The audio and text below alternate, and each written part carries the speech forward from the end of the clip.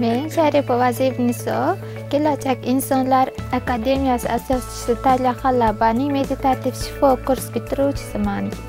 Bu kursda men kasalliklarni davolash kelib chiqish sabablari va hayotning turli sohalari bo'yicha meditatsiyalar yaratish haqida bilimlarga ega bo'ldim. Kelajakda maqsadim bu meditatsiyalarni yanada yaxshilab o'rganib yaratib odamlarga yordam berish niyatim bor. Bilimlarimni ichki intuitsiyamni rivojlantirib bu bilimlar uchun ustozim talya halabadan minnatdorman.